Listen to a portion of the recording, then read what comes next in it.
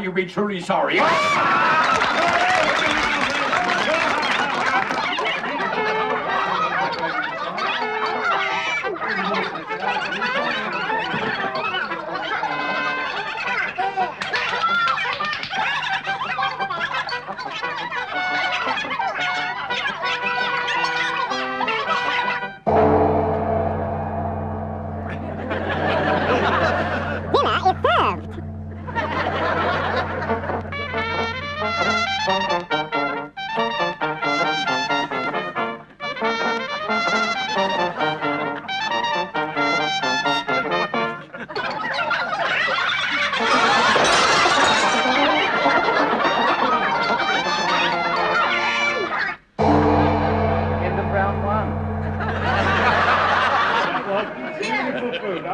My lady. You're very good. oh, beautiful. Friends, friends, Ah, well put, well said. as you know, we members of the Pudding Club meet on this festive occasion to enjoy feasting and frivolity. well said. As is our wont, and I won't if you won't. As is our wont, we also regale each other, you know, with nice tales and stories, like, you know, to pass the time more pleasurably between courses. And it is too. And who better to start the ball rolling tonight than the wife of our founder, Lady Rhoda Cockhorse? Ah. Ladies and gentlemen, the story which I wish to tell is by force of circumstances a very short one, since the wall upon which it was written was in a very small room. but it is apt, since it is the first known festive occasion when gifts were given many, many years ago.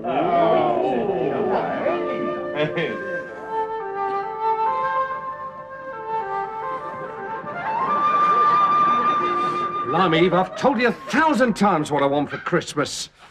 I know, Adam, but it's a very big step to take, you know. That much to ask. How do you know if you've never had it? I can't stand it any longer.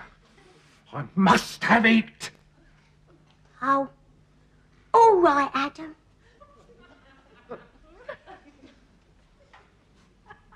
Uh, blimey, Eve, I, I, I well, I, I, uh, thank you. Oh, you, great team, know. Thank you. Well done, Lady Cockhorse. Well done. you know, that reminds me of a story I saw written on a wall. Oh, really, Mr. Bergen? yes. You see, I was standing there minding my own business. Yeah, well, all right, maybe I don't think the circumstances matter. What was the story? Well, I was just about to tell you. See, it goes like this. there was a young lady called Grace whose course it could no longer lay. Her mother said, Nellie, there's more in your belly than devil All went right, in well, thank you very much, Mr. Bergen. I now call upon General Sir Effingham Clodhopper. Oh, hey. General! General! What, what, what, what? It's time to do your bit. Uh, I can't do that. She's up in London. To tell your story. See what, what you mean. I was just thinking of a Christmas I once spent in Africa, uh, many years ago, as district commissioner. Oh. It was a lonely outpost, you see, right in India. Yeah. And I remember.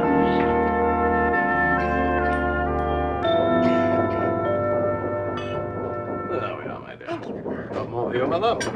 And you, my dear.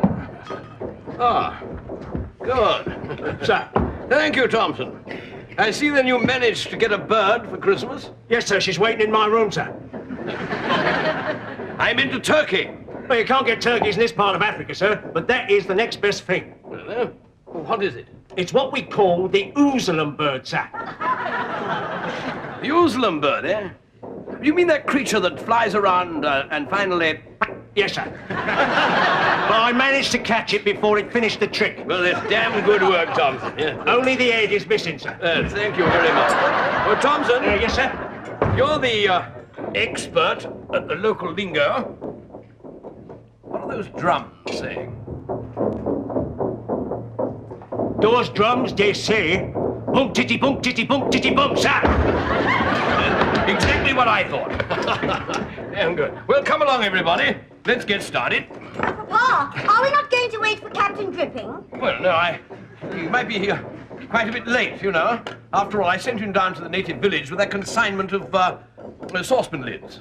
Saucepan lids? Whatever for, Henry? Well, under our new policy of educating the local populace, you see, I have decreed that henceforward all women should uh, cover their uh, upper parts.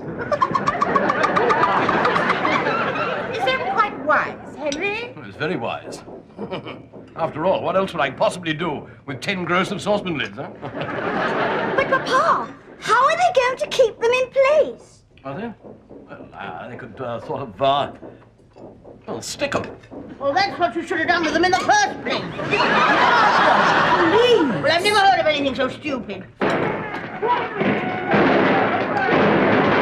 Henry, the natives are restless tonight. Really? What makes you think that, my dear? Oh, that's screaming. What screaming? They're shots. What shots?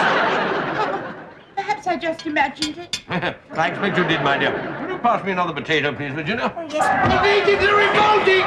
They've got guns and cannons around them all! It's horrible! Horrible! Captain Dripping!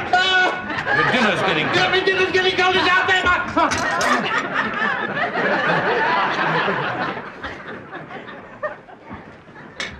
I must apologize, ladies, for being a trifle late, but it was hell out there. I was lucky to get away with my life. Yes, well, we accept your apologies. Now, be a good chap and sit down and get on with it. Yes. Thank you, sir. You're right, sir. My dinner is getting cold.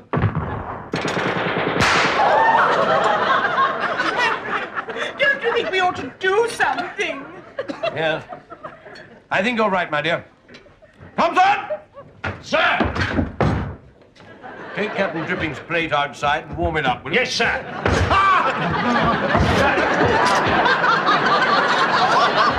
Virginia, pour uh, Captain what's his name a glass of wine, will you? Yes, Thanks. Papa.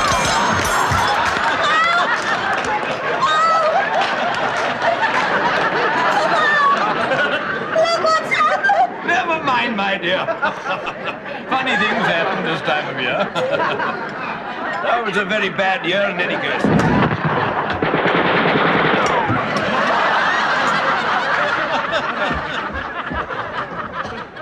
Ah, Thank you very much, Thompson. Very nice. I'm afraid it's only half a portion, sir.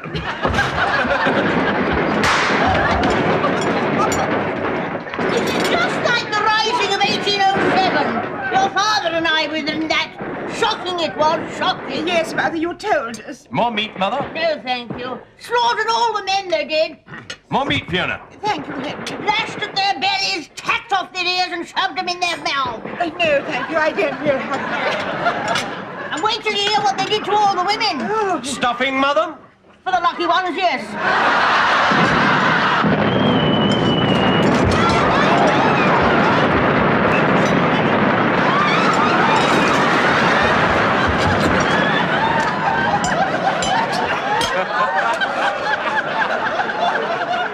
By George. What a lovely night. Look at those stars. Sir, with, with your permission, might I go and see what's going on out there? If You're interested, Dripping, yes.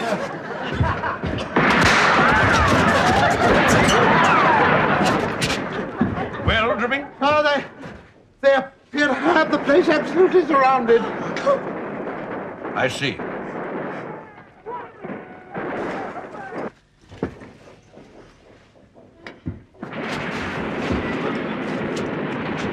what are you going to do, Henry?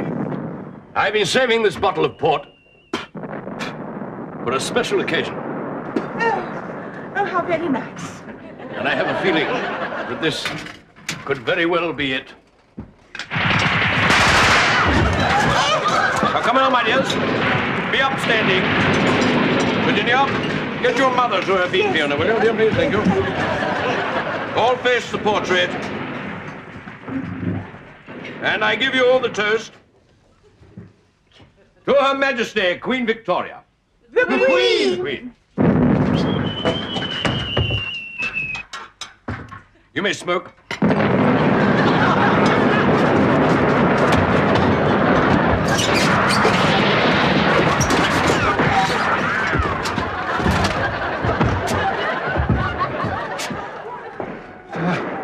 They're getting nearer.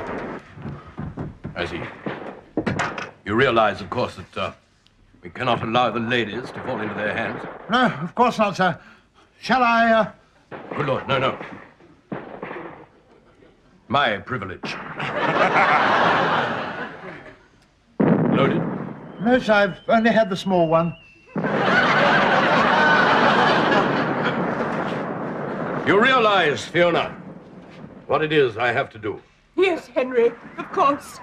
Could we go into the bathroom? The carpet, you know. Very considerate of you, my dear. Take your mother with you, will you? Oh, but I didn't say what they did to us in 1807 wasn't enjoyable. It's the principle of the thing, mother. Yes, Henry's right. Come along, dear. Virginia.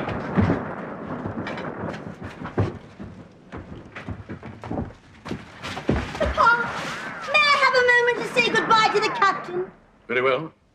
But don't keep dripping too long. Oh, oh, Alistair, I love you. And I love you too, Virginia. Isn't it awful to think that we have never even I had it? know, I know. I think of nothing else. Oh, Alistair, I've always been brought up to believe in death before dishonor. I know. But just this once, wouldn't it be all right if we could have it the other way around? Yes, but we'll have to be quick. Oh, yes. Captain Remember! Remember your position. Thank you, sir. Yes. Captain Dripping! Sir. Sir. You forget yourself. No, I got carried away, sir, in the heat of the moment. I don't doubt it. But it's going to look dashed awkward on your conduct report. Oh, my God. Come, Virginia. Yes, Papa.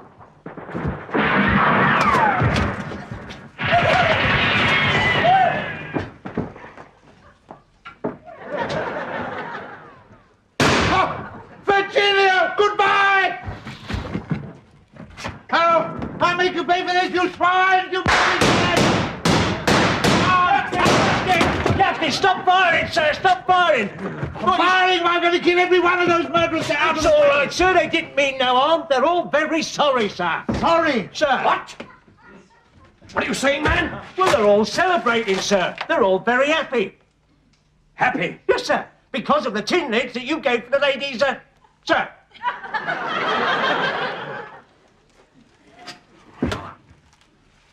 Oh, Dripping. You realize what it is that I've done? Yes, sir. How can I ever forgive myself? That bottle of port was 50 years old.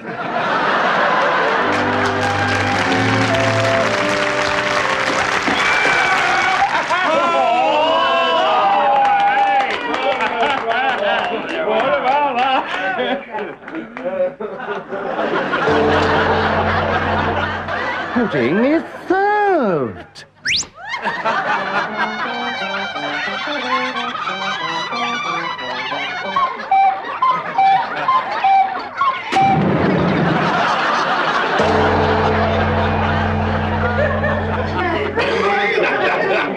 Now, ladies and gentlemen, I calls upon Sir Francis Fiddler, master of the Queen's music, to tell us a tale. Thank you, thank you. Well, ladies and gentlemen, it so happens that I've been working on a series of madrigals, which were first performed before Her Majesty Queen Elizabeth I, with somewhat unfortunate results.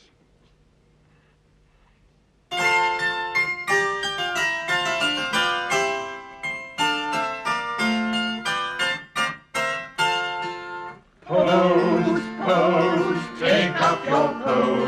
In this quaint posture the painter has chose. For posterity in doublet and hose. We shall be painted, so take up your pose. Flew, flew, right up your flue. The chimney sweep's visit is long overdue. Coughing and choking with yards of bamboo. The chimney sweep poking his brush up your flue. Balls, balls, banquets and balls. Laughter and merriment filling the halls. There is no reason to sigh at snowfall. For now is the season for banquets and balls.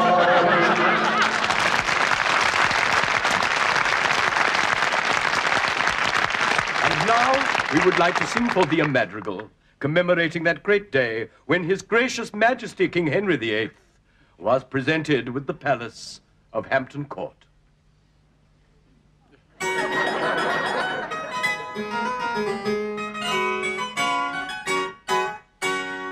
On the river near by Richmond rose an edifice fine, and Wolsey said, Your Majesty, it shall be thine. He made the king a present of this fine resort.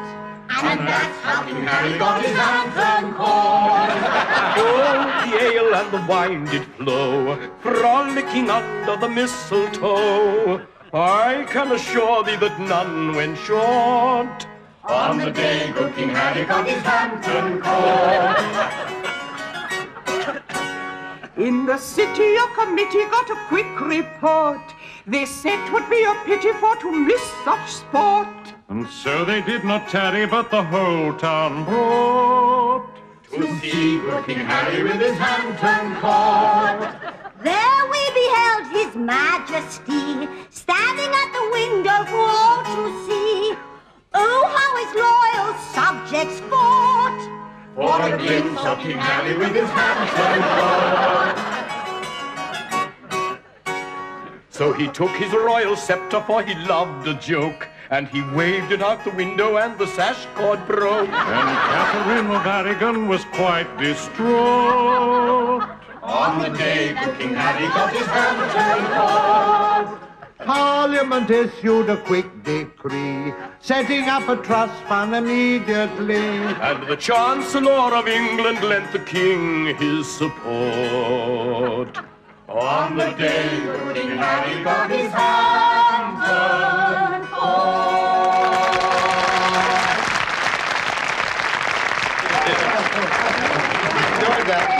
I was going to sing it. Reminded me of a concert I attended recently. List? No? I hadn't had a drink all day. anyway, there, there was this particular passage. Ah, a musical one. No, the passage to the gentleman's toilet. I was standing there just minding my own business. Well, thank you very much, Mr. Firkin, but what is the aim of all this? Aim? Well, I generally aim for that little badge under the maker's No, I mean the, name. the, the aim of the story. Well, that's what I'm trying to tell you. I was standing there looking at this religious story. Ah, a religious one. Oh, we'll enjoy that, Mr. Firkin. No, you do. there once was a lass named Miss Flickers who once went to tea at the vicar's. When he said a prayer at the start of the affair, instead of amen, she said, Thank you again, Mr. Firkin. I, I haven't finished yet. You've missed the best bit. For which we may be truly thankful. Oh. There was this curious happening that befell this young lieutenant that served under me. I beg your pardon? Well, in a manner of speaking. He was corresponding with this young woman who lived with her sister in this dark old house, miles from anywhere.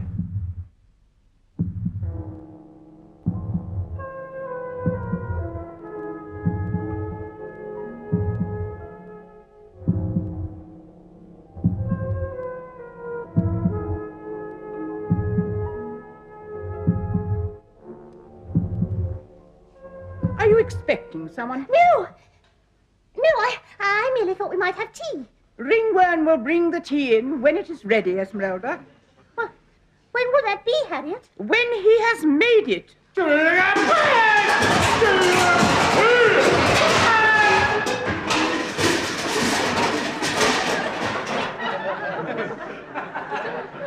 Sounds as if he's making it now.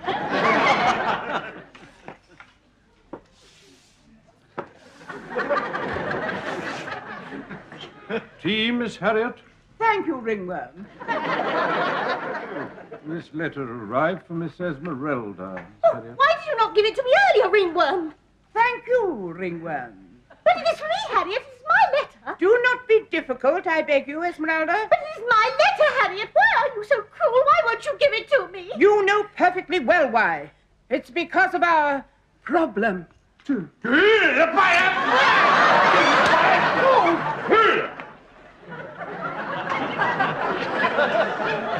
Now, see what you've done. You've upset Ringworm. I'm sorry.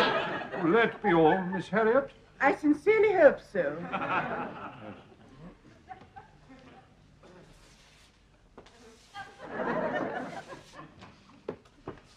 It comes from Portsmouth. Then he has written. Who has written? A, a, a friend, a, a, a Lieutenant Bangham of the Royal Navy. He. He. I.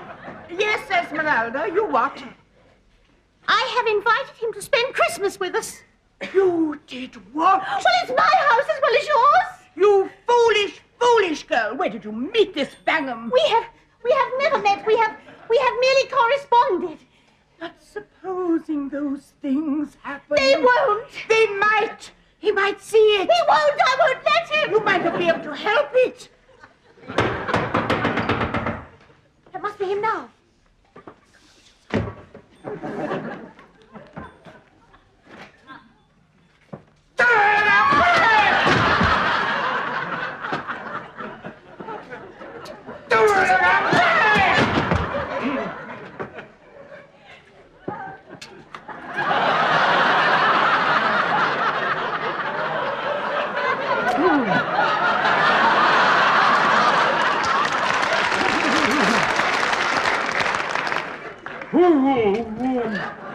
should is calling? Oh, just show them in, Ringworm.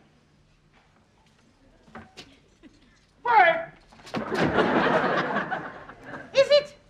Is it Lieutenant Bangham? It is indeed, ma'am. How do you do? How do you do? May I present Lieutenant Trembler of the French Navy? I've taken the liberty of bringing him along with me. Lieutenant René Trembler of the French Navy. At your service. He is attached to our ship, and uh, he had nowhere to spend Christmas. Oh, what ship are you off? HMS Nuki, ma'am. Yes, he is off the Nuki, but I am on it. so tell me, pray, which one of you ladies is Miss Esmeralda? I am. and you are to spend Christmas with us, no matter what. They may stay if they wish to, Esmeralda. Tell me, did you have a good trip down? Uh, possible, ma'am. Possible. It was somewhat hard, going over the cobbles. Yes, it was very hard on the cobblers. I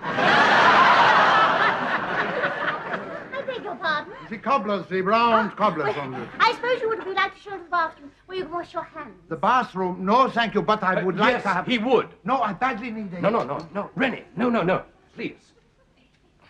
In England, we do not do that. No, but I want to do it. I Rennie, please, please. In England, we only go in there to wash our hands. Furious.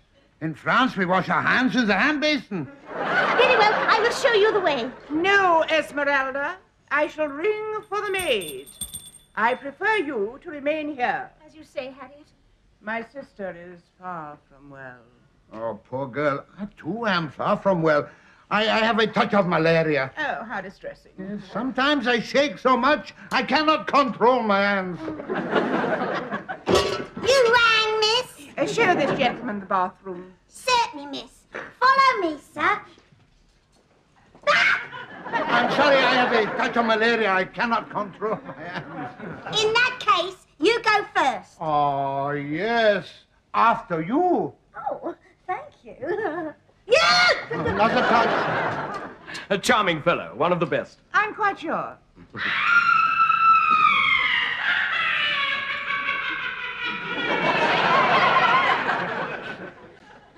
My God! What was that? Nothing. But should we not go to investigate? No, you stay here.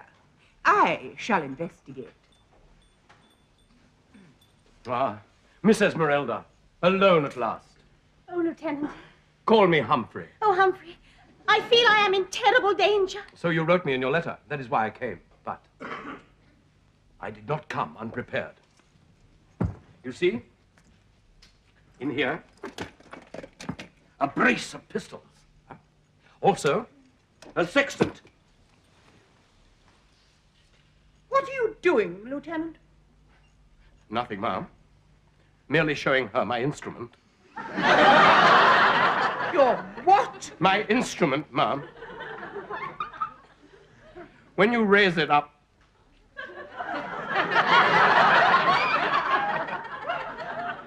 in the air, one can tell from its angle one's exact position.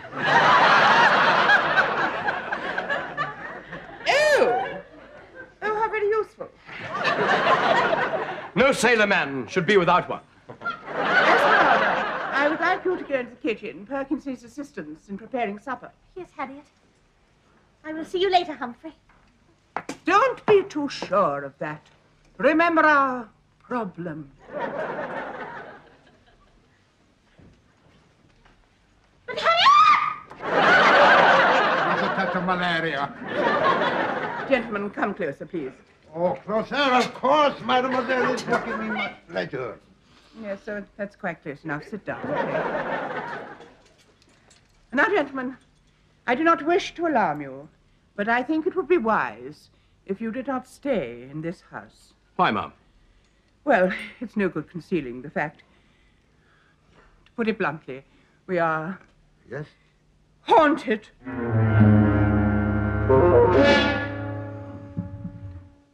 Haunted? Haunted. Oh, Dieu.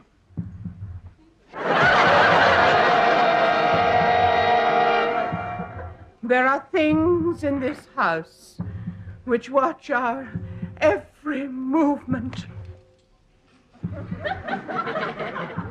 Every movement? Every movement.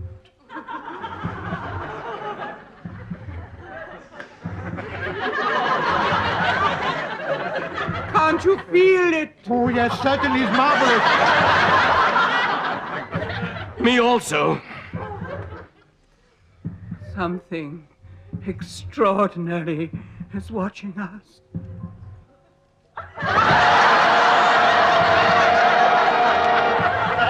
But I have not yet told you the worst. No? No. At midnight rides the headless huntsman. The headless huntsman? Oh, yes, it's a dreadful apparition. He rides up to the door, dismounts, and sounds his hunting horn. But that is very curious. Why? Well, if he has no head, how does he sound the horn? That opens up a field of considerable speculation. Wait, wait, I have it. Then keep it yourself. No, no, perhaps the horn is blown by the horse for him. Well, I must be going. But remember, gentlemen, you have been warned.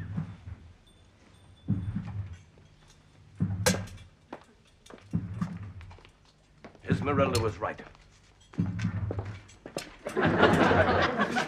She's in great danger. We are all in great danger. Oh.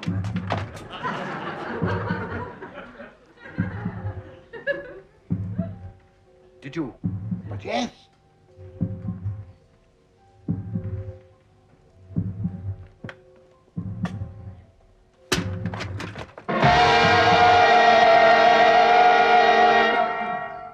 No one in there. But wait, wait. There may be a very small man in there. I'll drop this bell in, we shall see.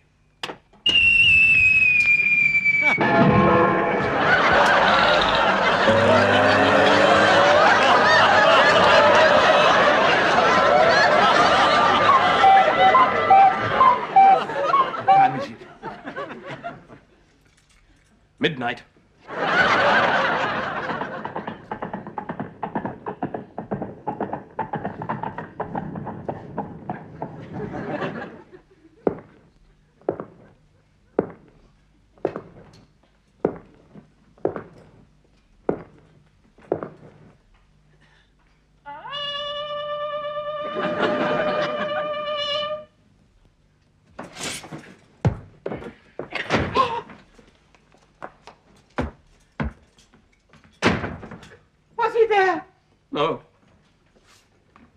But his horse was. We must all leave this house immediately. But why? Because of the legend. The legend! They would hear the huntsman's horn must surely perish for the dawn. Yes, he who hears them dreadful sounds shall hang himself unless he drowns. We've all seen it and heard it, all- every one of us. Yes, we've all heard the horn. I see. Yes, then what does not end up dead goes completely off his head. Our only chance is the last verse. The last verse. They who would escape this dreadful nemesis must this second leave the premises. Now go and pack. We must flee. We leave this house at once. No! Wait!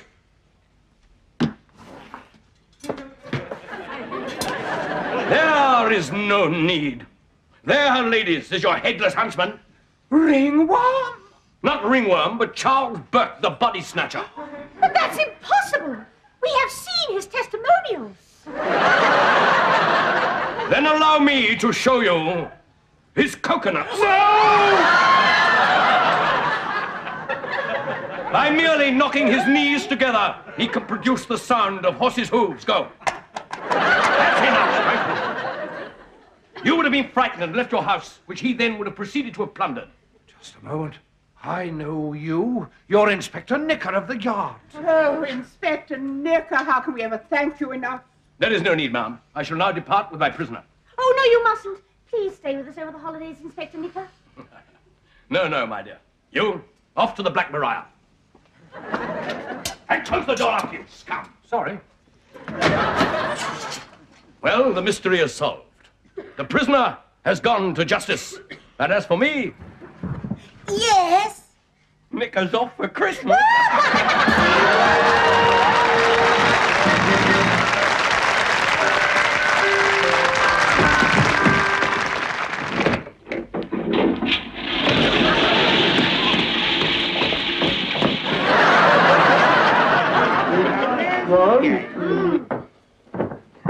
Better? And now, for our final tale of the evening, hmm. I call upon that esteemed theatrical actress, a lady who throughout the years has given us all great pleasure with her various parts. Oh. In a manner of speaking. Miss Molly Coddle. Oh, thank you. My dear, dear friends, bless you, thank you. Well, this evening, I would like to tell you about a revolutionary new form of drama in which I have lately become interested. It is called pantomime. And it is peculiar in that some of the ladies' parts are taken by men and vice versa. That sounds very queer. Yes, well, it is confusing, I can tell you. For instance, in the one in which I am now appearing, which is called Aladdin, I play the part of the fairy queen. Female, of course.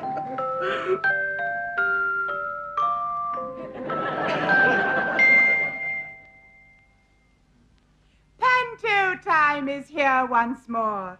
That glittering, sparkling, crashing bore that keeps little children happily amused while mum's at the bingo and dad's on the booze. And so, with a wave of my magic wand, I'll waft you all to fairyland.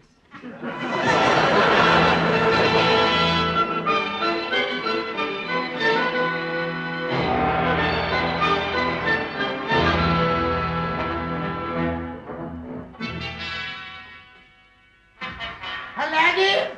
Aladdin! Aladdin! Where is that lazy, shiftless lad?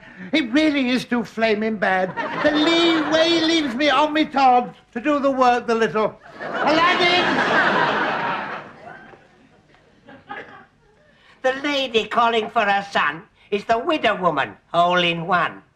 Her husband is a golf instructor, which is a very honourable profession to be sure, but one very difficult to find an acceptable rhyme for. You, a butterfly. That's Hanky Poo, I bet you. Peking's most illustrious lecture.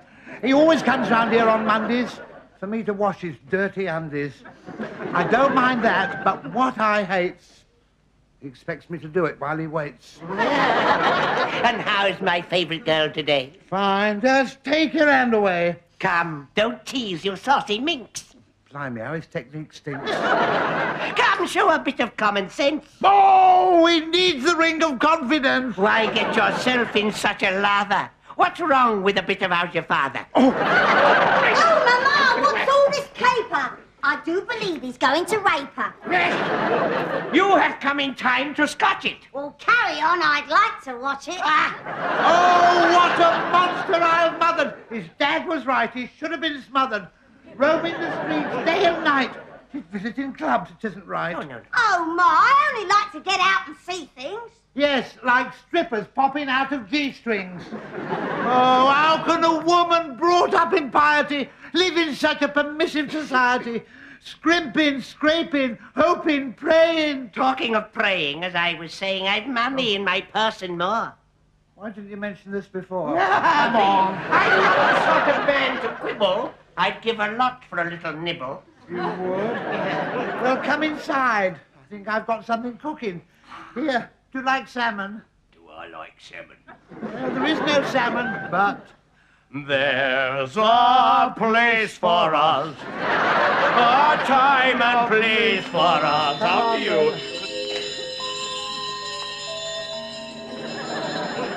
And so their fish they soon were tackling, followed by a piece of crackling. But who is this so big and tough? Good, Doc, who's talking? That's quite enough. but oh, he looks so sad and tragic. I know. I'll help him with my magic. Even the props don't work. It's too much. you know. Hear ye, hear ye, hear my cry. Princess Yo-Yo draweth nigh, blessed of heaven, star of night, provider of plenty, supplier of light, child of beauty, daughter of favour. All in all, a right little raver.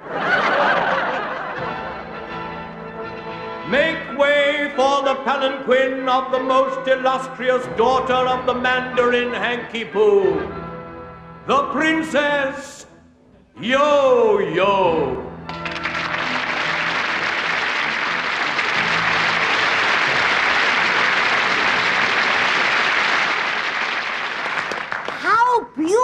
she is an agile, like eggshell china, slim and fragile. Her loveliness surpassed by no rose. I've always wanted to play with yo-yos. Young man, I wonder, can you aid me? I'm looking for the lad who laid me. Not me, I'm not the one you're seeking. Please, let me finish speaking. The one who laid me down some kitchen lino and lives near here, as far as I know. One who, despite my obvious beauty, didn't try and get all smoochy. Oh, that was me, still young and raw. I didn't know what it was for. So, you're the one. My, how he's grown. Those sturdy thighs, that swelling chest, those bulging muscles, and the rest. If then like that he had been made, there wouldn't have been much lino laid. Can it be that she's so fickle, I've missed the chance for slap and tickle? You're wondering why I came to find you? Yes. Because you left this lamp behind you. Oh, is that all? Then you didn't come to thank me. Thank you? What for? Well, I made your footstool and sent it to the palace. Oh, it was a beautiful stool. Yes. If you remember, you wanted it made of oak, but I couldn't get any oak. No, so. It had to be you. It had to be. Thus, seeing that their love was hopeless, she left him desolate and gropeless. Right unaware, her youthful wooer had in his hand the means to do her. The lamp, it needed but one rub, and she'd be in the pudding club.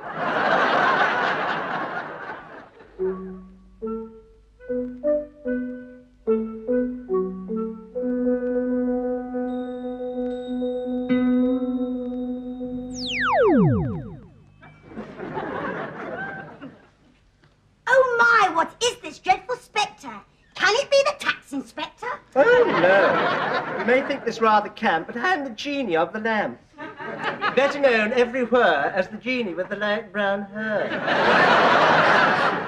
Oh, I know not what a genie be, so what do I call you, he or she? You may think this is rather feckless, but we genies are quite, quite sexless. To hear this answer, I can't wait. Then how do genies procreate? You'll find this rather hard to believe, and how we do it I can't conceive. But we increase our population entirely without. Well, shall I just say so, shall I? Well, all I can say is you may not have guessed it, but you've been leaving out the best bit. Oh, shoe repairers. I come here not to bandy words about the habits of the bees and birds. I come to grant you the wish you're seeking and make you the richest girl in Peking. Oh, I'm not a girl. You must be mistaken. If you're not a girl, you must be grossly misshapen. I'm very much afraid that we mystics aren't used to boys with such vital statistics. Oh, pantomime boys are always so. Well, you've got to have boobs in every show. well, we must press on. Are my magic powers invoked, and we shall disappear in a puff of smoke.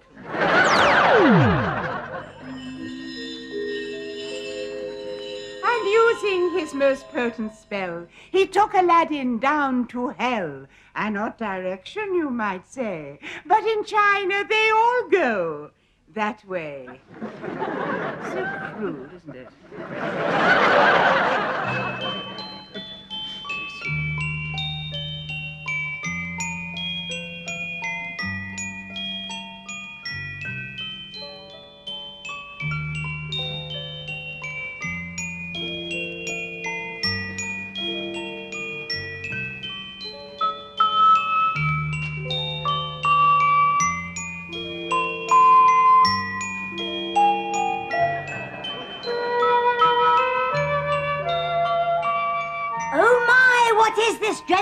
dreadful? That looks just like an underground lavity. Why, it's the home of the Demon King. That's all you can find, poor old thing.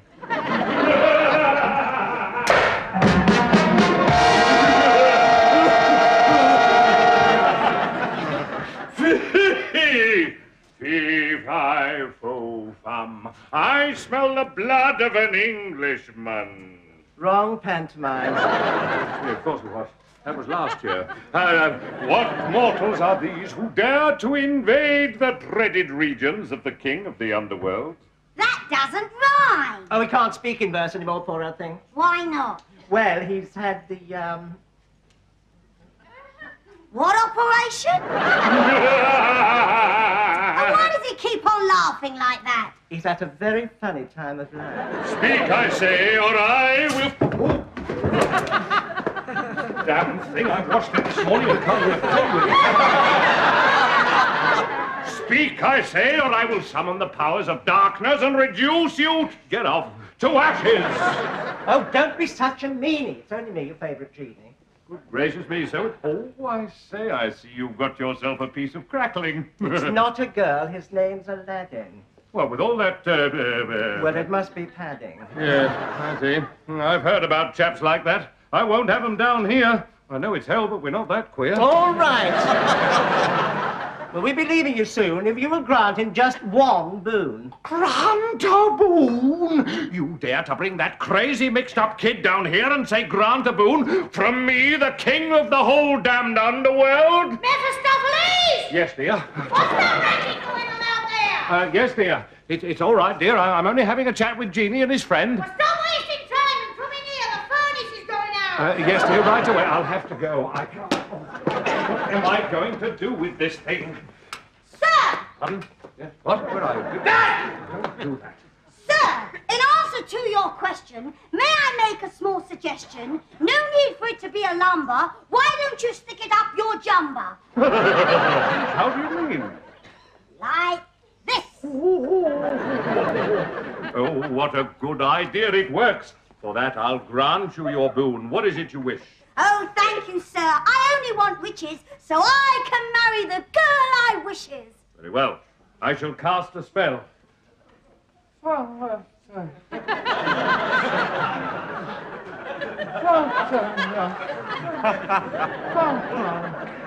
You're right, Chooks? I don't know what it is. I've been spellbound all day long. Oh, powers of darkness, grant us what we want! It's not what I want, it's what he wants. Oh, I don't know, though. Mephistopheles! Uh, yes, dear, coming, dear. Oh, powers of darkness, grant him his wishes!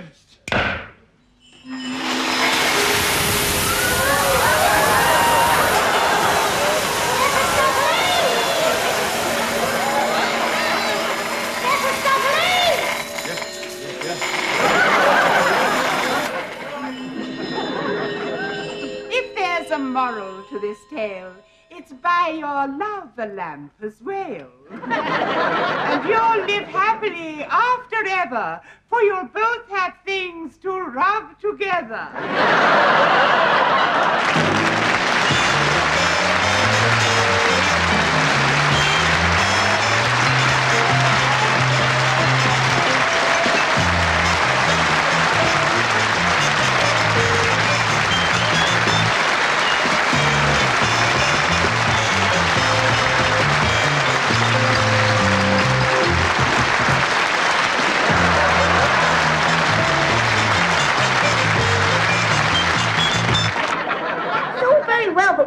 said you wanted to give it to me, I thought you meant my present.